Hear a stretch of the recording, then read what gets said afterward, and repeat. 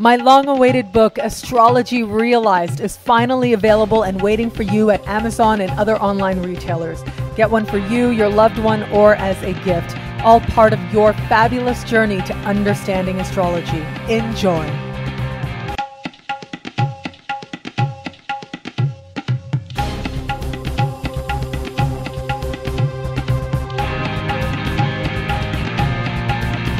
Hello, fabulous Cancer. Welcome to your horoscope for the month of November 2013 Love Focus.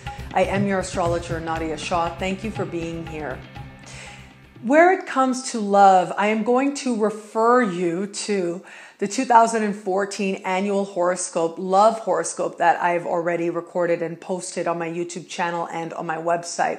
And I'm going to refer you to that because it is this month that a lot of the themes that I talk about, the major learning, the major lessons that I talk about in that video actually start for you now this month. It is that important a time for you where the lessons of the coming year become highlighted for you now. And the events that transpire this month are going to be ones that you are referring to again and again throughout December and especially throughout the early part of 2014. And so this is a time for you to be paying very close attention. You know, I find it really interesting what's happening for you in the sky this month. The part of the sky that's really lit up where the solar eclipse is taking place is understood as an area of the sky that has to do with fulfillment. It has to do with creative fulfillment, especially. And also one understanding of it has to do with children as well. But what's very interesting is that a more modern interpretation of the sky associates this part of the sky for you with flirtation, with meeting someone, dating somebody.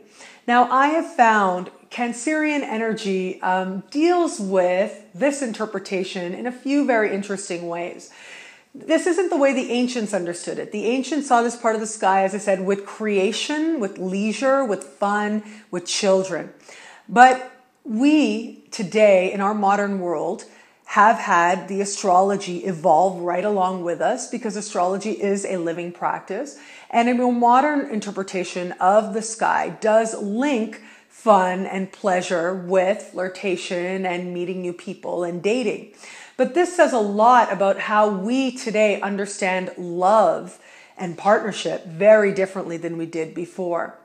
Cancer ultimately is an energy that has to do with tradition. It has to do with home. It has to do with what's established. But more than that, with Cancerian energy, if you think about it, your ruling planet is the moon. The moon is constantly changing. Those of you who have ever stood at the banks of a beach know that the tides come in and the tides go out. And that is very reflective of the movements of the moon. The moon grows full, the moon becomes new, it waxes and it wanes.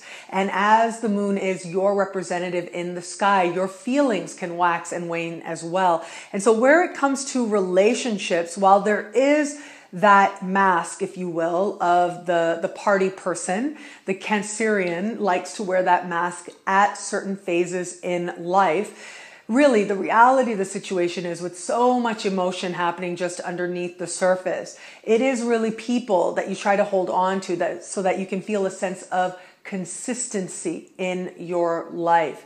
And so I have found, in my humble opinion, that it's very difficult for cancers to actually access fun and dating at the same time, to consider that the same archetype. There may be certain phases where you can do that, but for the most part, your emotional intensity and your desire for emotional connection are just too high, and you take relationships more seriously than maybe some people of some other signs might.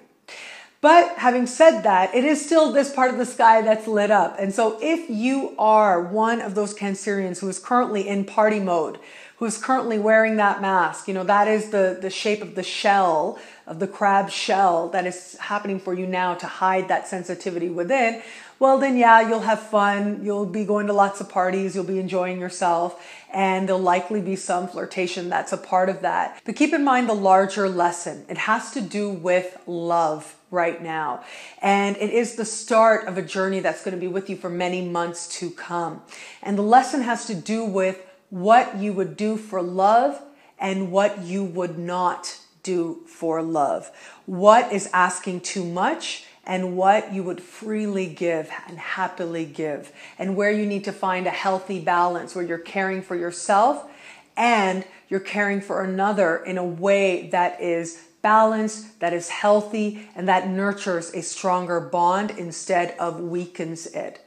So have your fun, enjoy your life, of course, but keep in mind that you're also at the beginning of some very powerful lessons. And so pay attention to those.